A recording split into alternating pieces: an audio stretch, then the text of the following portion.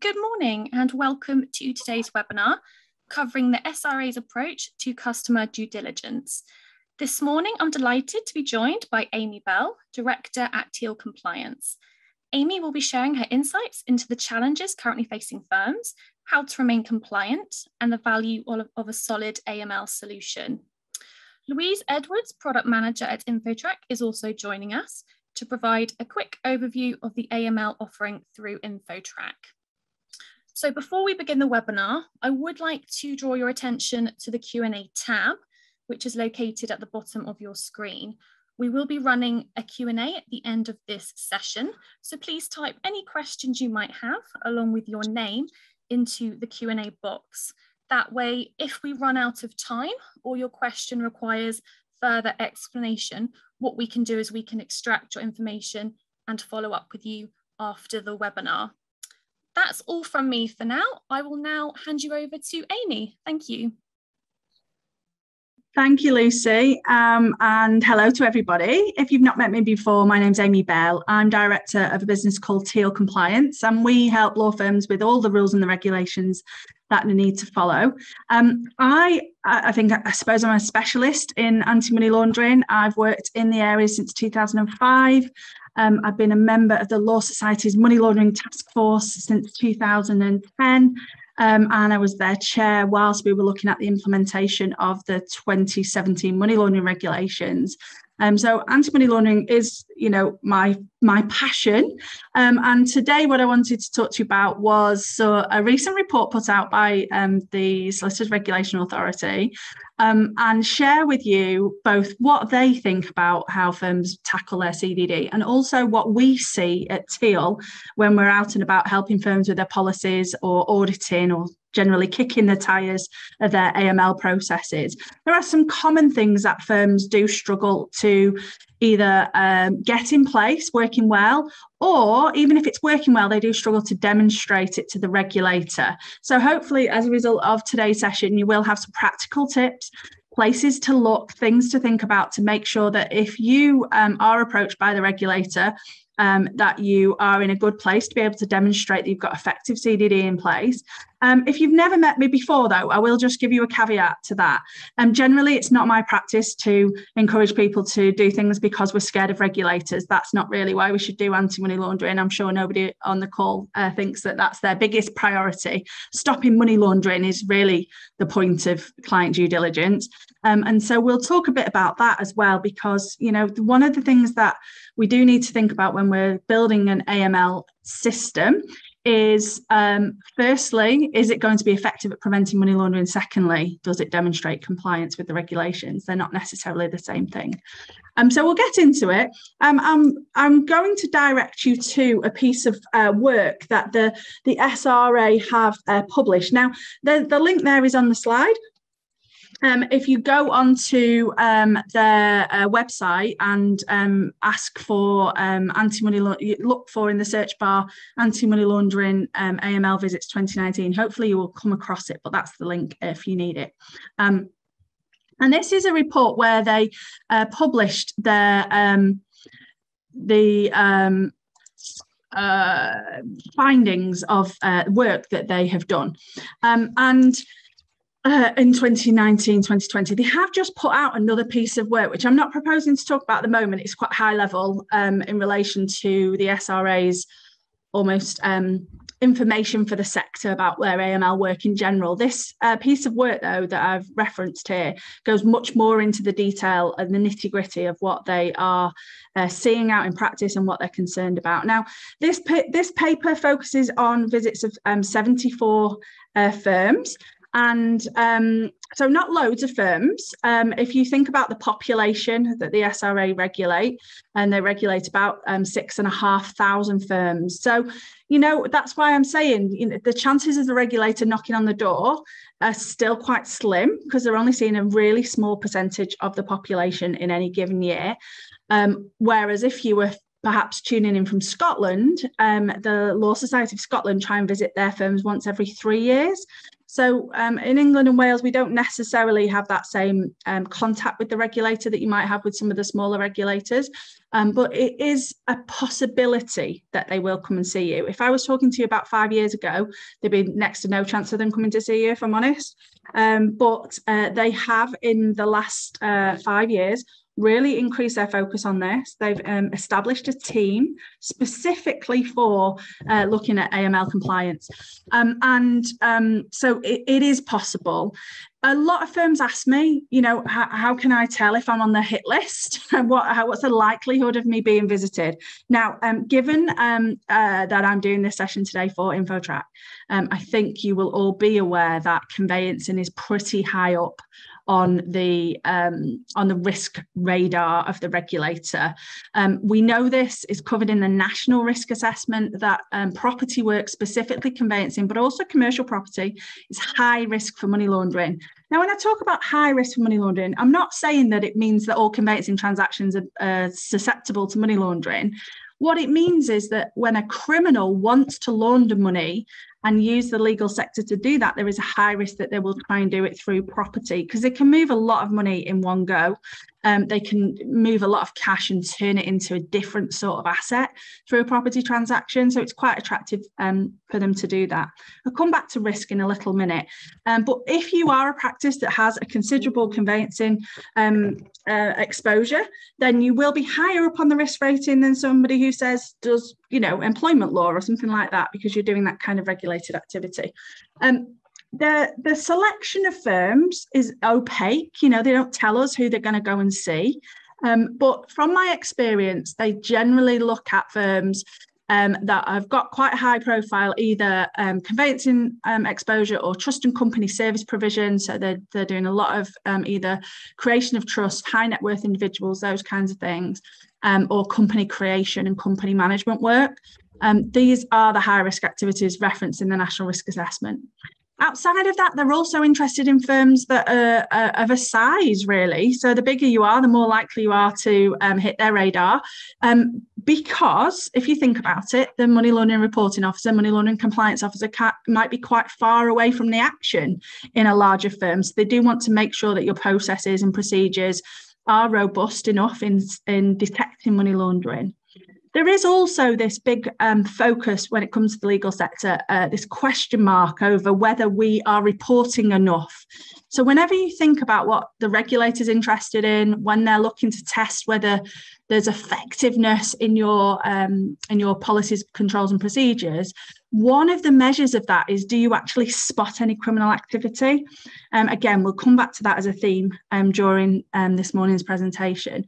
But when I talk about effectiveness, it's very difficult really to, to say whether your policies, controls, and procedures are effective um, because you know criminals aren't going to say, "Oh, right, well, I was going to instruct you, but now I know you've got such tough policies, I'm not going to bother." You know, you haven't got a list of those people, so you know it's quite difficult to actually assess the effectiveness. But there are some things, some key metrics that hopefully we'll cover. Well, we will cover them this morning that you can use to be able to demonstrate to yourselves and to your regulators that you think what you're doing is working. Now, out of the 74 firms they saw, you can see that 47 of them needed to have further contact. So we're almost at six, well, I think we're over 60% of the firms that were seen had to have um, some uh, further engagement with the regulator to prove that they'd sorted some things out. So that is a huge statistic that 60% of firms needed to do something extra. 60% of firms visited by the regulator were not where they should be. And I think, um, in all honesty, that does reflect my own personal experience. Um, anti-money laundering, you know, it's it's an in-depth area. It is something that took me personally two years to feel I had my head around completely, and that was doing it all day, every day. Um, when I was back in practice, um, and so you know, I, it's not a surprise to me that the, the if you are looking closely with a magnifying glass at someone's policies, controls, and procedures, you would you would pick up some things. But I'll talk to you today about some of the kind of own goals, the really easy things that you can um, look out for and remediate um, that we see all of the time um, that uh, that firms um, should be able to avoid being picked up on. Um, their concerns uh, were specifically around policies, controls, and procedures. um, whether the, those policies, controls, and procedures were effective, were fully updated, followed the law properly, um, whether they actually made sense. I mean, one key thing, hopefully, I'll give you lots of key things to jot down today, but one key thing I would say is um, do ask somebody with a fresh pair of eyes to look at your policies, controls, and procedures and see if they make sense. When we come in, um, when we're invited in by firms to look at their policies, controls, controls and procedures, it's very, very often the case that I will spot something that just doesn't make sense because I'm looking at it with a fresh pair of eyes, seeing if I can work out what the firm should be doing here for their AML. Um, so it's a good thing to do with a new starter who doesn't already know what your policies, controls, and procedures are, but maybe just ask a colleague. Imagine you didn't know what we do here for AML. Could you figure that out from the policies, controls, and procedures? Because the regulator, that's how they're looking at it. Can we work out what's going on here from this? If they have to look somewhere else, like your your website to work out the types of work that you do and the risk profile of your clients, then it's probably your your policies, controls, and procedures not comprehensive enough. Um, part of these visits that they're doing, they are picking up files, and a lot of the issues that they saw were where the policies, controls, and procedures said one thing and the file said something else. And again, very common for me to see that in practice. Um, I mean, uh, and that'd be anything, you know, it doesn't just mean um, that happens in an AML. You look at any compliance at all, there'll be a set of policies, controls, and procedures. And when you pick up a file, you might not see something that, you know, properly mirrors that. Um, so um, just be aware that should you have a visit from the regulator, they will be looking to compare um, what is actually happening in practice. And it goes to one of the things that I say very, very often to people please don't have policies, controls, and procedures that say that people should be doing things when you know very well that they're not. Um, either you need to get them all doing what they should be doing in the policies, controls, and procedures, or change the policies, controls, and procedures to reflect what's actually happening in practice. Please don't have a disconnect between them because it's so easy to spot. Um, and then lastly, um, they had some issues about reviewing um, client due diligence and whether that was done um, regularly or not. So I'll talk about that in um, shortly when we look at ongoing monitoring. So um, 12 firms were written to out of the 74 with guidance and nine of the firms were referred for investigation. They may or may not be disciplined. We'll have to wait and see. Um, but there is obviously a chance that they will be. And you can see that the consequences um, for AML non-compliance um, are um, quite hefty in some cases.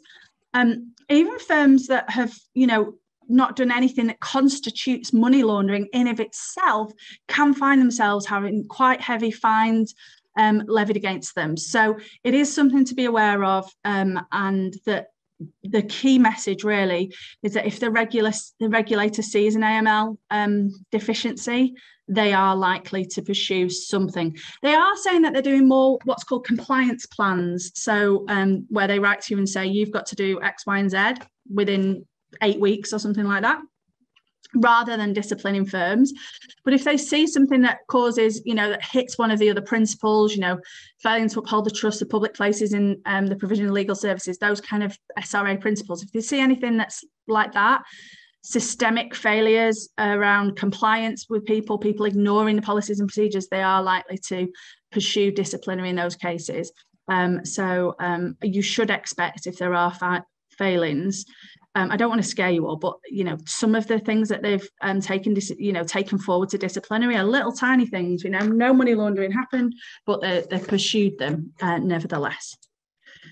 So, getting on to the the nitty gritty of what I promised to talk is um, due diligence. Now, just before I get into this, if you learn nothing else from me today, please learn this when we talk about client due diligence, it's actually an activity of four or five, parts, depending on the type of client you've got.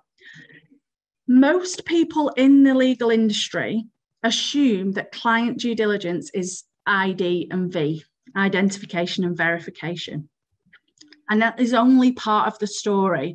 So when the regulator finds that there are issues around client due diligence, they're really finding that there are issues around the application fully of the CDD requirements within the regulations. Um, lots of firms have got solutions for identification and verification of people. But as I said to you earlier on, um, identifying and verifying that somebody lives at a certain place and has a picture that looks like this does not prevent money laundering because baddies live somewhere, don't they? Um, so the only way you prevent money laundering really is making sure you're not moving dirty money. Um, so just keep that in the back of your mind when you think about the effectiveness of your CDD processes. This is not just about how, do we know which door to knock on? I mean, that is the purpose of doing that. And when we look at electronic verification, I know Louise is going to take you through um, InfoTrack solution.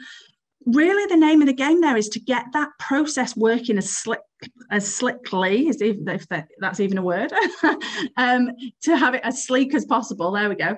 Um, to to make sure that people are not spending a lot of time and activity on that unnecessarily when they need to be really thinking about um, other issues. Those other issues being specifically um, the risk assessment for the matter and um, the purpose and nature of the business relationship.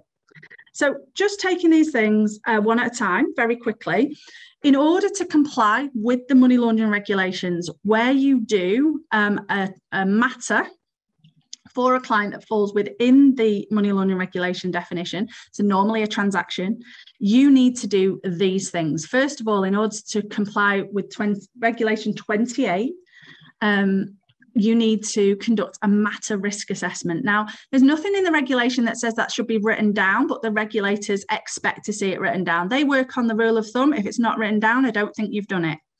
So you need to make sure people in the discipline of having a matter risk assessment. Now, there are some firms that have a client risk assessment the first time they meet a client um, and haven't necessarily added on a, a matter for uh, risk assessment for subsequent matters. If you haven't got that, you probably do need to think about it. It doesn't have to be a massive form for the subsequent matters. Um, or at all. It never has to be a massive form, actually, but there has to be some sort of note to show that the fee earner specifically has thought about the risk assessment, um, uh, uh the risk attached to the particular matter, um, spe- uh, particularly if that has changed. So, if you've been doing something for a client that's been low risk, has it been transactional in nature, and suddenly they become a transactional client, and say they've come over from, I don't know, family law um, they, you acted for them in family law, and now you're buying them a house post divorce. Now they're in transactional departments. You do need it's a different risk. Um, it, the client risk might be the same, might be the same person. You might be still happy that you know where they're, who they are, where the money comes from. But um, because we know that uh, property transactions are deemed as high risk, as I said to you before, you're going to definitely need to think about does this, the fact that this person is now instructing us for a high risk matter, change our overall risk assessment for that person? And this should be written down. Now, if you look at the Legal Sector Affinity Group guidance, um, which was is still in draft form as far as I know, uh, was published uh, back in March you will see in there that the regulator's expectation is that the matter risk assessment dictates the amount of client due diligence that you're going to do. Um, so if you have a low risk risk assessment, you might do one type of client due diligence, or if you had a high risk risk assessment, you would do more client due diligence, um, probably would be the expectation. Um, and so, you know, this matter risk assessment, they may expect to say at the bottom, and therefore I'm going to do the standard due diligence or the enhanced due diligence or simplified due diligence, something like that. Now, it is open to you not to do that if your process doesn't necessarily result in a and do this level of due diligence. That that can be okay. But if you are ever going to do anything that is kind of contrary to what's suggested in the legal sector affinity group guidance it's important that you uh, make a note as to why you think this. So what i find very often in practice especially in smaller practices is that they have a very standard but thorough way of doing client ID and verification of individuals. And that never changes based on, on who they are or the risks for the actual matter. Um, so, you know, checking out, um, you know, how many passes you need on the electronic verification or if you are getting additional documentation from a client you know the the number of documents that you're getting from a client is the same every time if that's done to a very high and robust level that would be suitable for an enhanced due diligence client, I think you need to say in your policies, controls, and procedures that you have this enhanced level for all clients. Um, if you do have different levels, so for certain types of clients, certain types of situations, you'll do less client due diligence. I think you need to make sure you've recorded um, in your policies, controls, and procedures the circumstances in which you could use either or process. So um, hopefully that's uh, ringing some bells with you if you haven't already done that in your policies, controls, and procedures.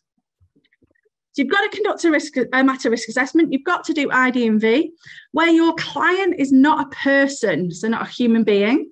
Um, so there's some sort of entity, whether that's a limited company or a partnership or a trust or something like that. You've got to understand who the beneficial owner is. Now, a beneficial owner is a person with the power uh, behind um, the entity who who makes the decision who's calling the shots really um, and you've got to think about how to to uh, find them um, and um, who they are, first of all, and then how you verify them.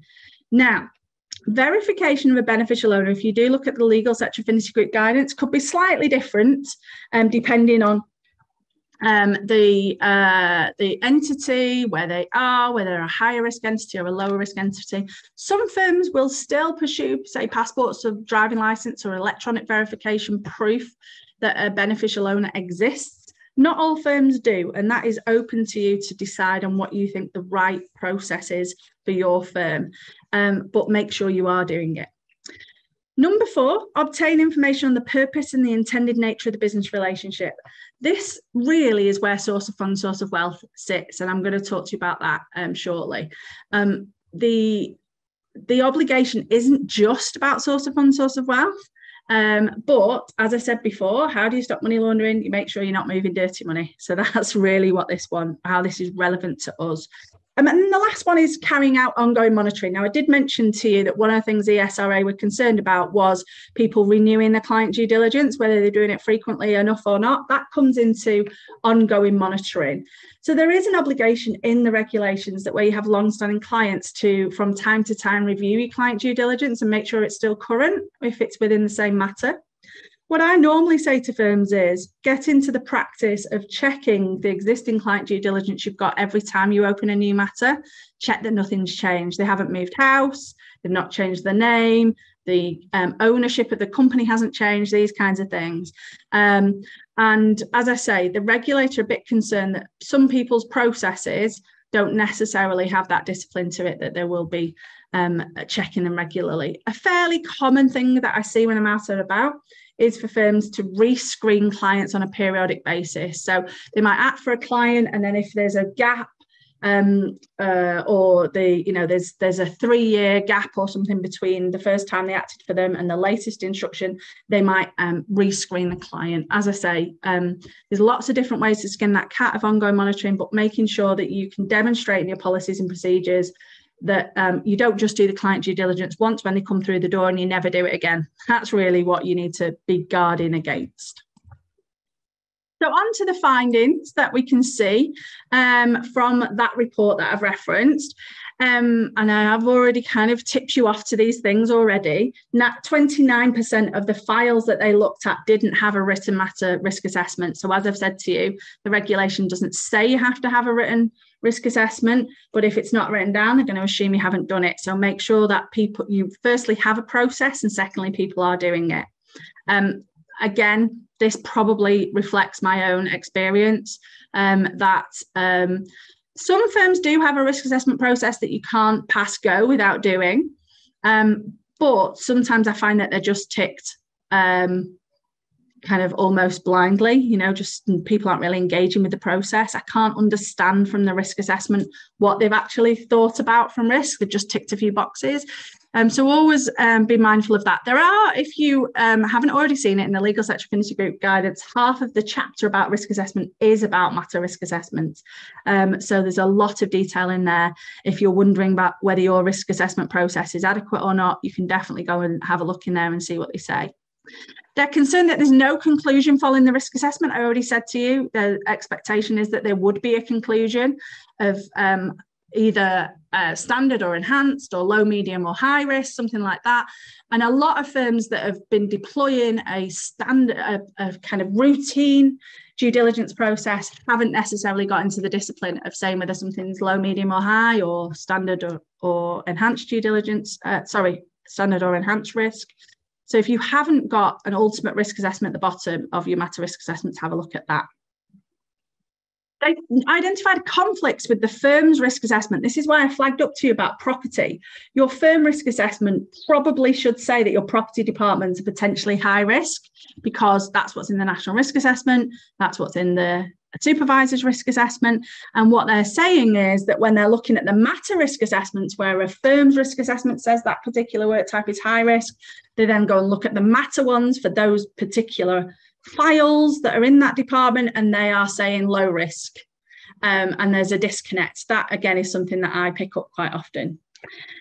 Um, and then some assumptions that the ID&V system had something to do with the matter risk assessment. Now, in some firms, their their um, electronic systems that they've put in to help them manage client um, due diligence does include a matter risk assessment. Um, but if a lawyer doesn't think that they themselves have been asked to think about the risk and assuming that something else is doing it or someone else is doing it, like a centralized team, they're probably going to come unstuck.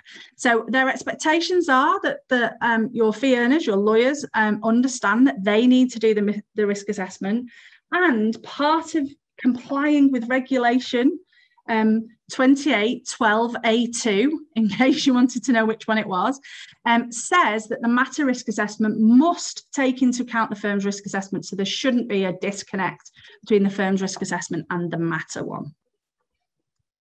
Okay. Um, findings on client due diligence. 53% of the cases that they looked at had insufficient client due diligence on the file. Um, they commented that only 8% of firms are using reliance, which is relying on somebody else's client due diligence. I'm not surprised about that at all, actually. I don't think many people in the legal sector do use it really. Um, 11% of um, firms relied on clients answering a question Are you a politically exposed person or not? rather than using um, external forces to check, you know, so electronic verification to check. Great news 91% of firms had been able to report that they turned away a client because of AML concerns. We talked at the very beginning about effectiveness.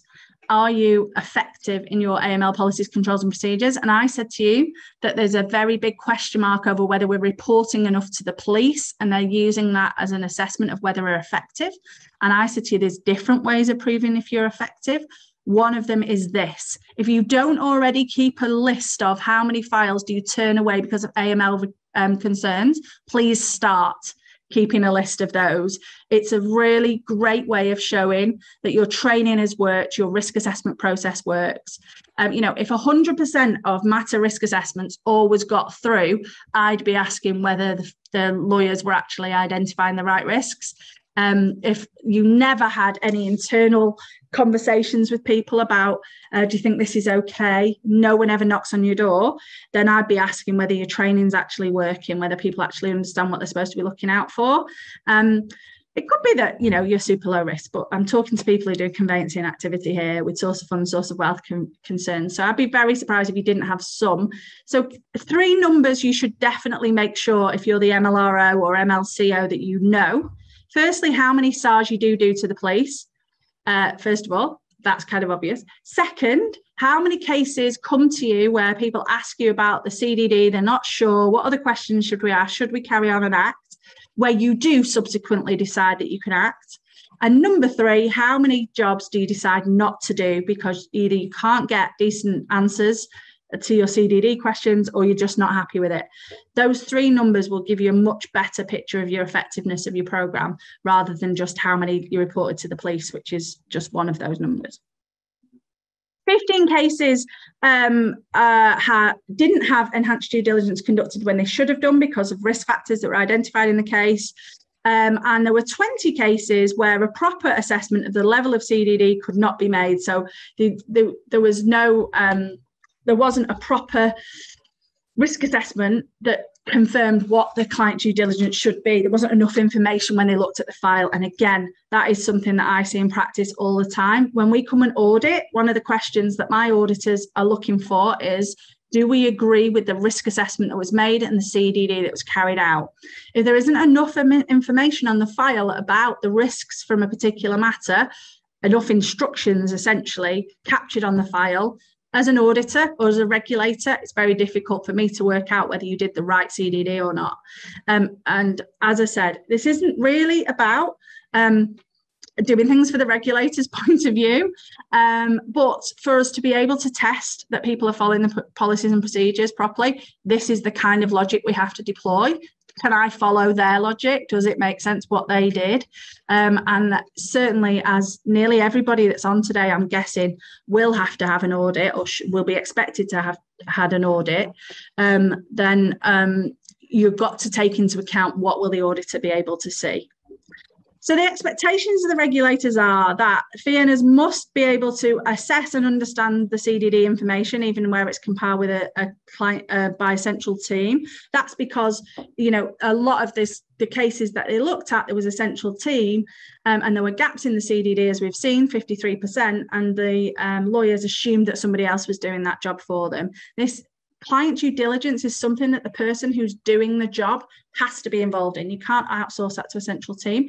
Definitely outsource the gathering of the information, the um, running the CDD searches electronically to someone else. But the lawyer has got to bring all that information together in their head and really ask themselves this does what um, I've been given in terms of evidence here from the electronic check or anything the client sent in, does this match what I thought was the case?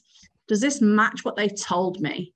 Does this make sense? Does it have any hallmarks of, of anything that I think is criminal activity? You can't, because the lawyer is the only person talking to the client, you can't outsource that to a secretary or someone else to make a decision about.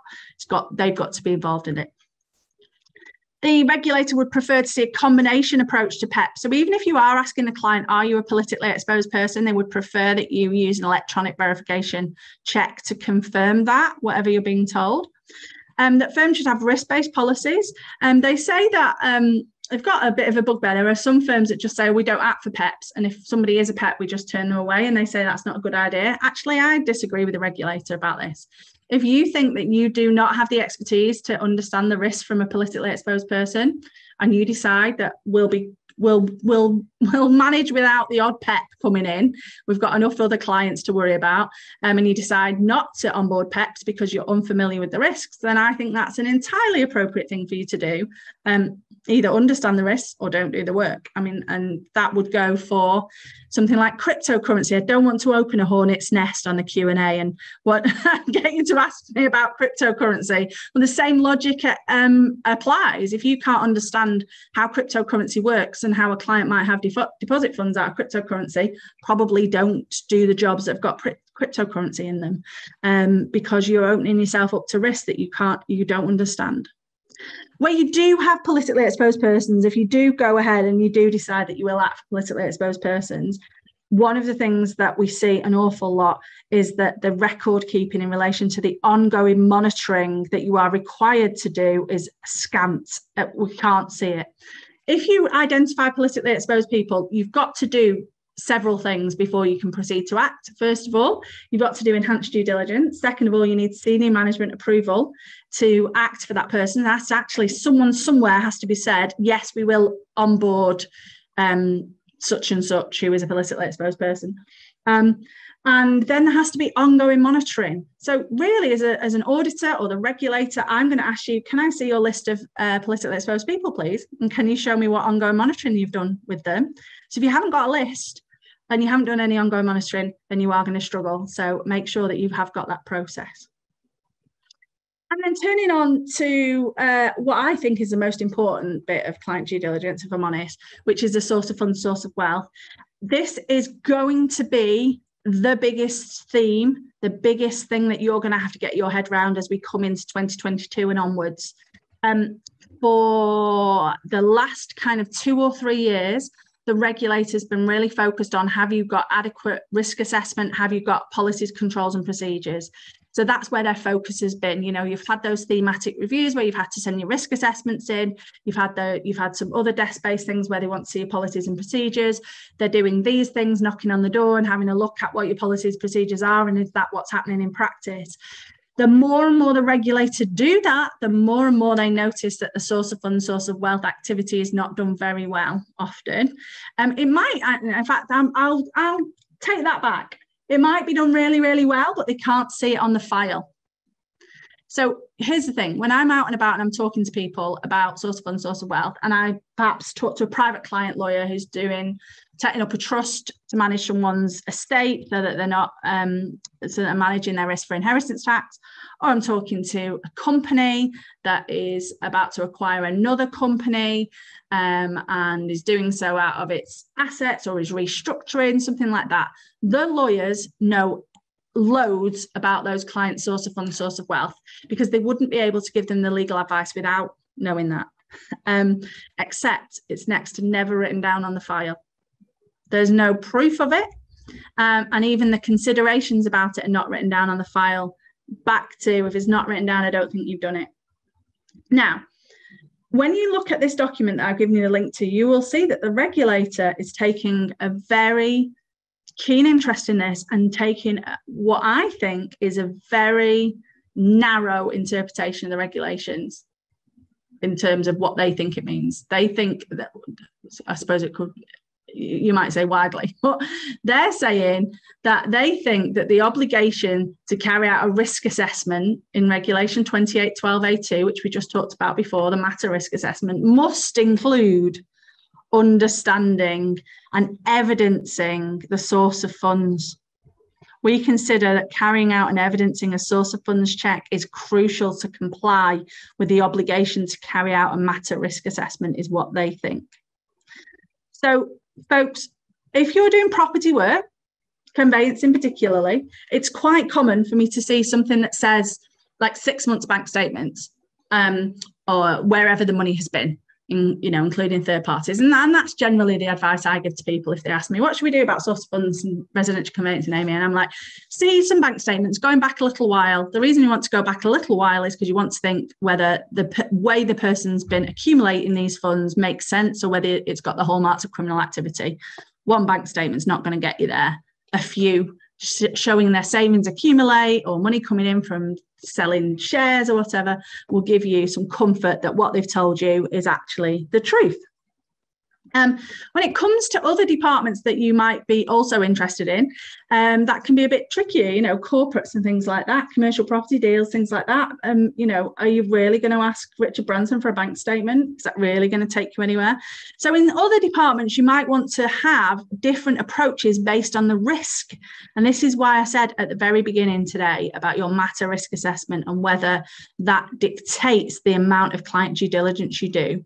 Do your policies, controls, and procedures um, allow for people to take different um, um, approaches to source of funds, source of wealth, depending on the risk. If not, it's something you might want to think about because it is going to be certainly the case that wherever you're doing a transaction, the regulator is going to ask you about what you thought you should do for source of funds and source of wealth and what proof there is that that actually happened. Um, so, um, have a think about that. As I say, I'm sure I'll be um, we'll be doing other webinars in the future about solely about source of funds, source of wealth, um, because I just think it's such a um, a tricky thing to be able to build a policy for. Um, it's easier, I think, where you can get a blanket. We want to see bank statements for six months, but that doesn't work for all work types. Um, and so I think you do need to think about how to how to evidence that across the practice. Um, but certainly, um, not being um, not not focusing on it, not covering it in your policies, controls, and procedures will um, raise the eyebrow of any regulator, um, and they will look at the file and see if it's there. I'll leave you with uh, one question that is uh, one that I always ask the lawyers, and it's something that you might want to consider when um, you're looking at your policies, controls, and procedures um, in this space. What I say to the lawyers is this if I pick up your file tomorrow to consider, to look at whether you've understood the, um, the risk um, from the source of funds, source of wealth, and whether you've conducted ongoing monitoring, will I be able to see anything on your file? The answer is pretty often no, you won't be able to see anything on my file. If that is the case for you guys, that you, your lawyers have done you know the onboarding they've done a risk assessment at the beginning they've got the id on the file they've got the search result from the infotrack system on the file but then there's nothing about the source of funds source of wealth or nothing about considering whether that's still the same before they complete the transaction I would look at that urgently um, because, as I say, if it's not written down, they're going to think you've not done it. So um, that's it from me. Lovely. Thanks, Amy. That was fantastic. Um, and I'm hoping that everyone's been able to take something away from that session. And don't forget to pop any questions you might have into the Q&A box and we'll pick these up at the end. I'm now going to hand you over to Louise, who's going to run through the AML service through InfoTrack. Thanks, Lucy. Thanks, Amy. Let me just share my screen. So really excited to show you our AML product um, that we've basically built to provide an improved way to submit, monitor and manage the firm's AML searches. So our enhanced ordering screen, which is just based across the InfoTrack home screen, which I'm sure you'll be familiar with, allows for additional search features when actually submitting your AML. So by doing it through the system, it allows you to input additional information such as alias name and residency. So this provides a much more thorough result as you're able to input more information. The product also caters for company AML and international as well. So we've got the company tab across the top, obviously requesting some company information in there. And one of the benefits of this sort of recent version of the system is that international searches are now based off of the country of residency. So this takes out the manual intervention to determine the type and mitigating inconsistencies and risks within the firm. So I would come in as a user, select nationality and current address from the drop down here. And it's this current address that will base um, that will base the search essentially either in the UK or an international search there. One of the things that we've built recently that's quite a useful tool for any InfoTrack users is demonstration mode. So this will basically populate for me an example matter with two individuals in here. So you can see that I've got Miss Harriet Bentley, nationality, date of birth and address information in there and gone in and selected the relationship, interview type, risk assessment and the search type as well for both parties. So it will then request me to enter in the ID and address documentation in here along with expiry information and upload the details if I need to. Once I've confirmed that I've informed the subject of the AML search, I can then go ahead and click order. Instant results are then returned and will be sent out to you via email and pushed back down into your case via case, uh, your case within case management system if you access our InfoTrack platform via integration. This is where the ongoing monitoring aspect comes in as well. So if any clients do appear at a later date on any PEPs and sanctions list or the documents expire, you'll get alerted to the change through InfoTrack system. So it's not enough, obviously, or it's not just that the initial search will get returned as soon as you place order. We'll also continue to monitor that client for a year after you've placed the order. And we'll also, we've also built in archive results. So if you are no longer proceeding with that client, you can archive the result to basically turn off the alerts. If any of your searches are returned as non-compliant, like you can see here, the document has come back with non-compliant information.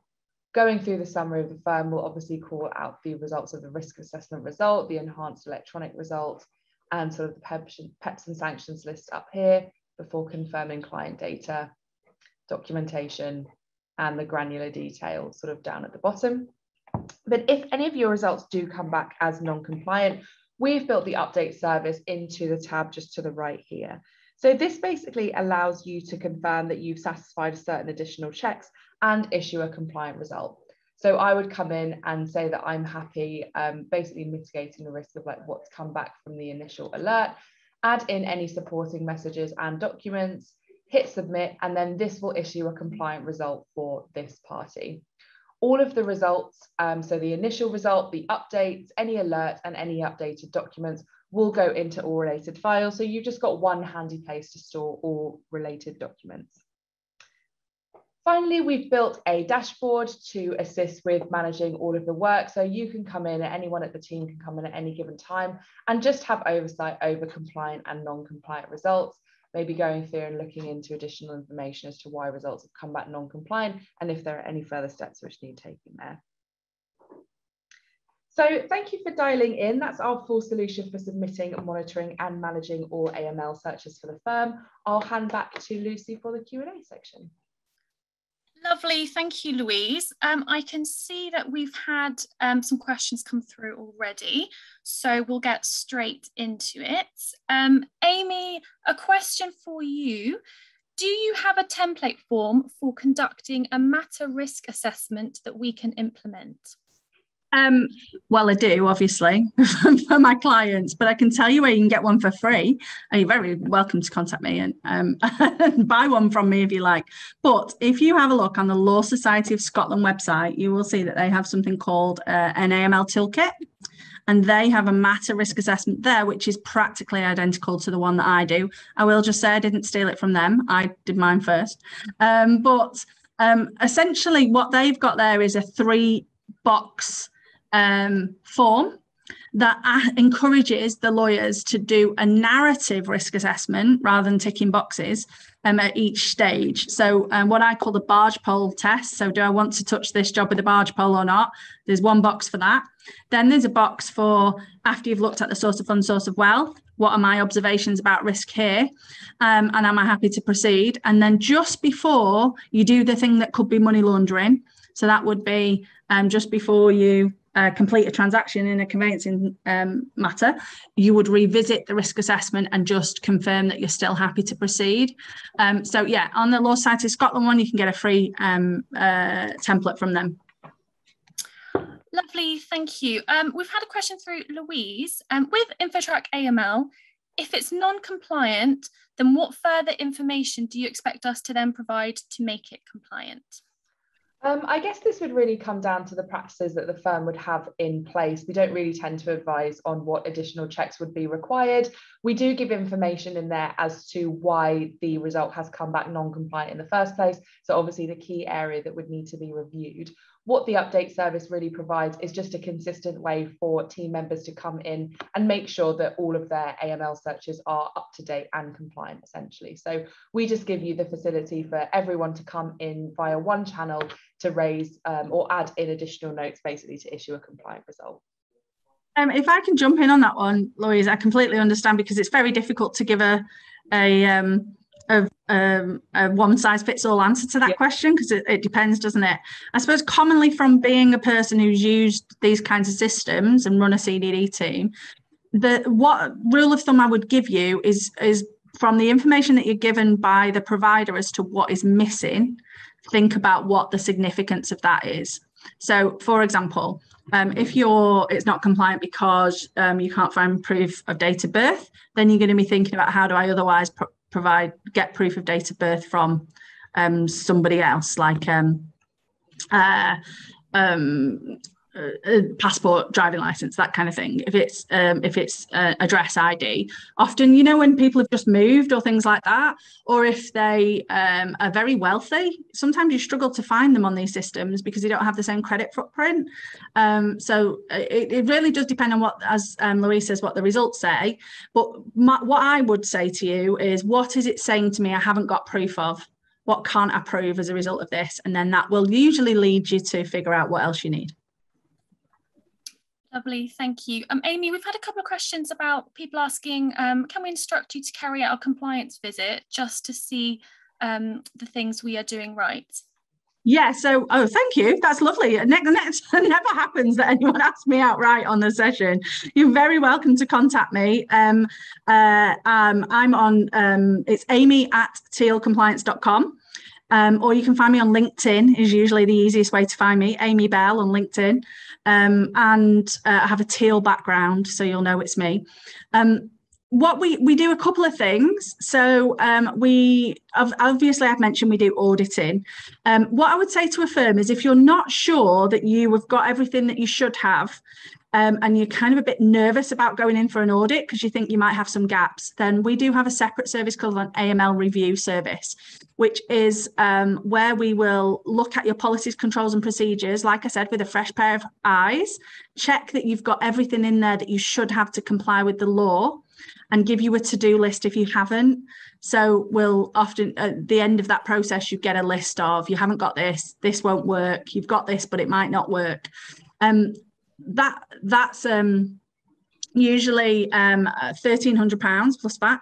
Um, and um, then if we do come back and do an audit later on, we'll, you'll at least know that your policies, controls and procedures have got everything that the law needs. I'd usually advise a good six months between an AML review and a full audit, because if you need to do any changes, you want to get them changed and you want them to follow through and be visible on the files by the time you take you do the audit. Um, so if you if you think that the um, you've got um, a uh, you're just not sure that you've got everything that the law wants covered properly, then go for the AML review first. Um, uh, if you think you're ship shape and you think actually, Amy, I think we've got everything we need, um, but I do need an audit, we do do that as well. Lovely, thank you. We've also had a question for Amy. Um, I'd be interested in your views on how to handle AML in relation to acting for the buyer in a small company purchase where the seller is supported up to, but not for completion, by an unregulated legal services provider. Oh, interesting. That's really interesting, isn't it? Because we often, te- and it, I mean, it's you, you could ask me a similar question about a person, you know, who's who's unrepresented, um, because we always take this comfort, don't we, from the other side being regulated, so they must be doing their checks. Um, it's actually a really long answer, which we probably haven't got time to go into in too much depth. You feel very free to message me um, or um, contact me by email um, on amy at tealcompliance.com. But the quick answer is this if you're buying and the thing you're buying is dirty money, if you have no idea about that, then you are not going to commit an offence by buying something that was funded by the proceeds of crime.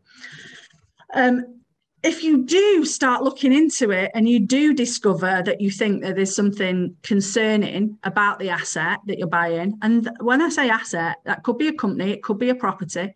Um, if you start digging around and you become uncomfortable, you then expose yourself and your client to the risk of committing a, an offence under the Proceeds of Crime Act, where you might need a defence to go forward.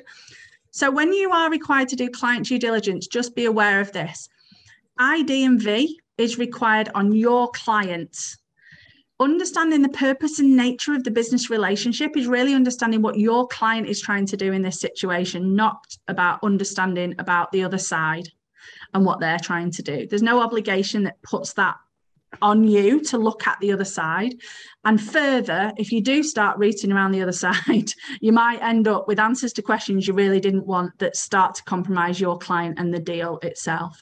So, I mean, that's something that I cover on my masterclass um, in, in quite some depth. Um, but that's the quick answer. Do feel free to, to um, get in touch if you want a bit more detail on that answer. Thanks, Amy. We've had another question come through. Um, for the 91% who had turned mm. clients away because of AML concern, would you expect to see a correlating SAR for each client who was turned away? I'm going to give you the standard compliance consultant answer here, which is it depends. Um, it does really depend. I tell you what, it depends on though. Um, it depends on the level of suspicion you've got. So here's the thing. I said to you before, didn't I, about if you've got a client who's who's going to buy. Um, I had one last week. One rang me up. Actually, someone rang me up last week and asked me about one, um, which was they have got. Uh, it's a banking question. They've basically got someone who's trying to open a bank account, and the money they're going to be putting into the bank account was money that they got as a result of selling cryptocurrency that they were given to pay them for a piece of work that they did. So they did a piece of work, they were paid in cryptocurrency. They've now sold that, converted it into sterling, and they want to open a new bank account with it. So this would be similar to you being asked to use that money as a house deposit. Um, so I'm sure you can see the, the kind of relevance there. And I said to them, well, listen, do you understand how to read a cryptocurrency wallet? And they said, no, not really. I said, well, then you probably want to say, I don't want to do that and turn them away. And so that might fall into you, I've turned them away numbers, but you wouldn't have anything necessarily to say that you suspect that they've committed an offence and therefore you've got to do a report. So many firms turn things away because they're outside their risk appetite. They're not things that they're familiar enough with. There's gaps in the client due diligence. But they don't reach the threshold for reporting for POCA. These are two separate issues. Again, something that I cover on the masterclass in, in quite some depth, so I haven't really got the time to go into it in huge amount of depth here. But the rule of thumb is if you are rejecting something because you are suspicious, where suspicion is that there is a possibility more than merely fanciful, that there is criminal activity, and that the assets that are being used are the proceeds of that criminal activity, then you have to do a SAR. If you don't reach the test for suspicion, then you might just turn the job away and you wouldn't necessarily do a SAR. So hopefully I've qualified my it depends there, Lucy. That's lovely. Thank you, Amy. And um, we've had another question come through. We already use InfoTrack for AML, and we do conduct enhanced AML search on every onboarding client, regardless of matter type or the client risk. Do we still need evidence of a matter risk assessment? Um, Louise, in your system, I think you've got risk in there, haven't you? Yeah, so we've got um, the risk assessment set up for the team to decide, obviously on a case by case basis, what's the relevant answer there. That will then affect the availability of enhanced and simplified um, search types that you can submit through the system. And we've got a full breakdown of what the difference between a simplified and an enhanced report is on our FAQs within the website. But it basically means that with an enhanced, you get granular detail additionally coming back in the report and not just sort of the PEPs and sanctions check. Um, I'm not too sure about the evidence um, for the matter risk assessment, but we that's basically how it works in terms of the logic in the system and the full breakdown of enhanced versus simplified is available in the FAQs button within the InfoTrack page. I think I would say to it, say, and going back to what I've said in the presentation, which is you really want to look at it with a piece with a with the fresh eyes that says, have we got captured on here why we think that it's this particular assessment of risk? Um, and the other thing I would say about it is the risk isn't just about what's the assessment of risk to dictate how much ID I should get. There's then this secondary issue of now I've got the source of fund, source of wealth. What do I think about risk? The reason those are two separate things, folks, is that you don't do them at the same time often. Sometimes you do, Sometimes you get all that information in one go and you can do both activities at the same time. The vast majority, especially in conveyancing transactions, you might ask a question about where the source of funds is coming from in your initial inquiry with the client, but you don't actually get proof of that until after you've sent the engagement letter, after you've sent the form that you want them to fill in about source of funds, source of wealth. So the time has passed for you to record that risk assessment on on for example the infotrack system because you'll have done the search before you um, before you've got the information on which to make that secondary risk assessment. That's why i encourage this three box approach that i was talking about on the scotland one because um, it, it's you've got to think about what is it that i'm recording the risk of. I'm recording a risk of the barge pole test do I want to act for this client? And if I do, what do I already know about this client that tells me how much ID I want to get about this person?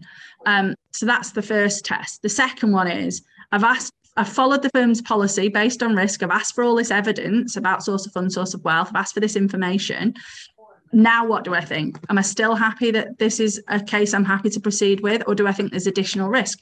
So, for example, if you did ask the first blush of questions, you got the first lot of information in, and there was still unanswered questions there, like there was some deposits of substantial amounts of money and you don't know why they're there, you're going to do in additional due diligence, aren't you? You're going to do enhanced source of funds, source of wealth due diligence.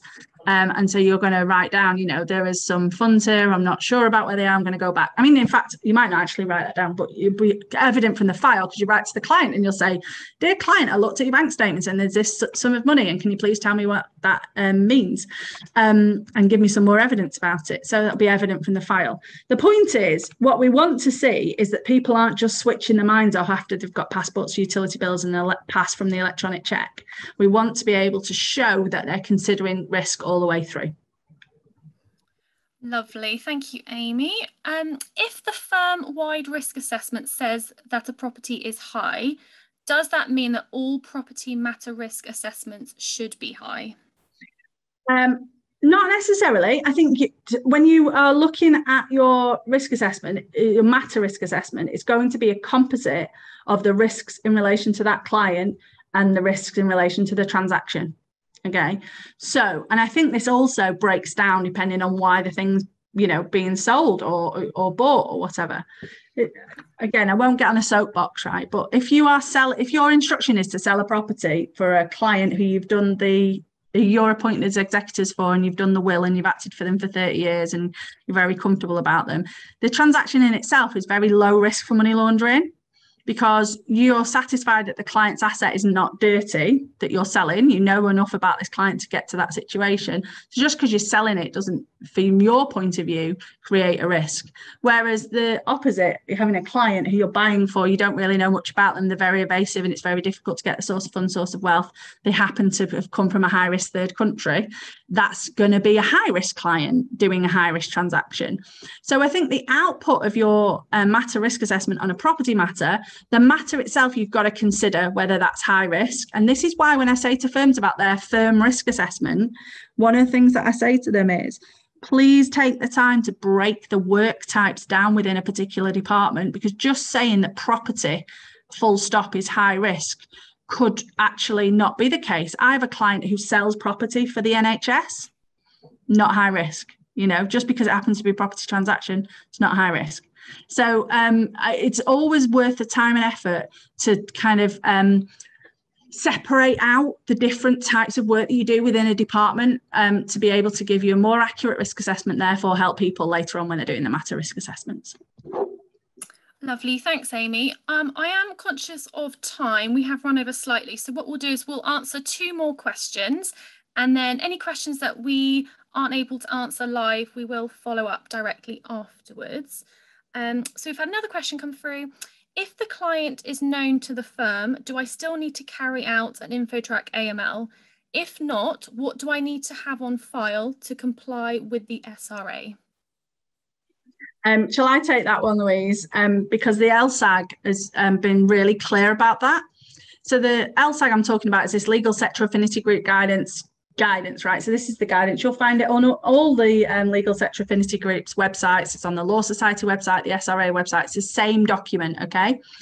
And um, one of the things that the SRA particular, particularly picked up was that they were coming across lots of firms that had what was called a long-standing client certificate on or a partner certificate.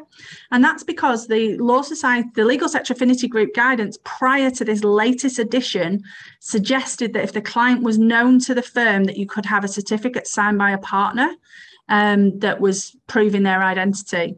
Um, they have gone so far as to say in the latest LSAG and in SRA guidance that they do not consider that to comply with the regulations. So if you are still relying on these kind of partner certificates, just be warned that if the regulator saw them, they would consider that they're not compliant. What they're saying is that that's not independent verification. That's you just saying that they are who they say they are. It's not independent in any way. Um, and so um, they may ask you to do it. Now, so if you're just using those certificates and you've not got any ID on file at all, I think you should go and get some ID. As to whether you have to repeat the search every time the client comes back to you, um, on the basis that you've done it once, you can set your intervals for that yourself. Um, I personally like to do it annually, but that's not in the law anywhere. I do know sort of firms that review or renew those searches every three years for existing clients. Uh, but given that the monitoring on the InfoTrack system um, ends, I think, Louise, after 12 months, then that might contribute to your decision about rescreening them. Lovely. Um, and then the last question, Amy, we've had a couple um, of questions themed around what level of training is required to be able to deal with this level of checking and compliance? What a good question that is. In the new Legal Sector Affinity Group guidance, you'll notice there's a new chapter about technology. And the regulators are pretty concerned that people who are using technology, including like the InfoTrack system, um, don't understand what the results are. Here's the the, here's the key things that I would make sure that are in your training program. First of all, your money laundering compliance officer should be able to explain to a regulator how any search provider searches that you are using work. They need to be able to explain why they think that that provider is appropriate for the firm um, and what it is that it's checking. The regulators are asking specifically questions about this because they've found that this is a big blind spot, especially if you're a new money laundering compliance officer and you've, you've inherited the system from someone else put it in before you. Um, make sure you know how to use it. Secondly, anyone who's using it should have a train ha- have training on it, whether that's provided um, uh, by InfoTrack or other people within the department should be recorded that they've had training on how to use it, and that includes if there's any upgrades or changes that there's a record kept of the training that they have. If lawyers are asked to interpret the results, then sh- that should be included in their training to explain what the results say and what they mean. And like that question we had just before, and what should you do about it, that should be included in the training. It's a very, it's a key area as as firms adopt more and more of this technology to um, help them manage their client due diligence. The regulators are concerned about people going, oh, well, the system's done it. It's not, you know, I'm just going to rely on the answer from the system without understanding how it works. And um, that is something you should definitely be making sure is included in the training. Lovely. Thanks, Amy. Um, just looking at the time, we will end the session here. If we haven't been able to answer your question, we will follow up with you directly afterwards. Um, and just to let you know, the I will be sharing a copy of the webinar with you as well, so you can refer back to Amy and Louise's notes at a later date. If you do have any other questions about anything that you've learned today or questions in relation to the AML offering through the InfoTrack platform, you can either email us directly or reach out to your dedicated account manager who'll be able to assist you. I would just like to say as well a big thank you to Amy and Louise for their time today. Um, I hope you all found these sessions informative. All that's left to say is thank you so much for joining us today. Have a lovely rest of your day and a lovely rest of your week. Thank you.